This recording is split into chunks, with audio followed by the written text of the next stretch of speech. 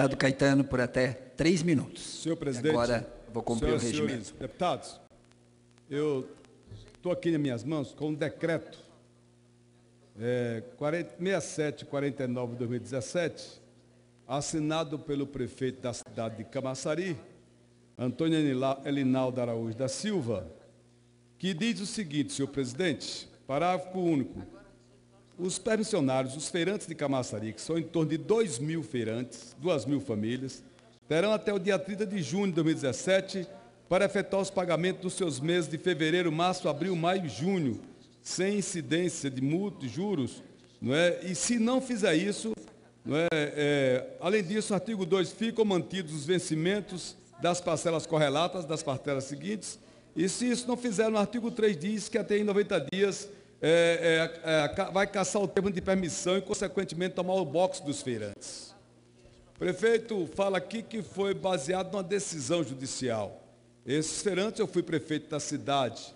Durante oito anos, os feirantes não é, foram isentos de pagar esses, de pagar o aluguel, de pagar a luz e a água da feira em função de, da compreensão que nós temos que a Bristol Faros, que a Continental, que a Ford, que as grandes empresas têm diversos anos de isenção. Inclusive aqui nessa casa tem um fato novo, foi aprovado a isenção para mais 15 anos para todas essas empresas do Brasil. Nós aprovamos aqui eh, nessa casa, não é? Esse benefício fiscal para gerar emprego e renda. E aí eu estou falando de 2 mil feirantes. Tem um fato novo, senhor presidente, que antes do prefeito cobrar essas tarifas dos, feirantes, seria importante que ele visse um momento agora de desemprego. 60% das vendas caíram no centro comercial de Camaçari. 60%. O feirante não vai ter condição de pagar. Agora é retroativo a fevereiro e continuar pagando os meses todos. E com esse desemprego que está, senhor presidente,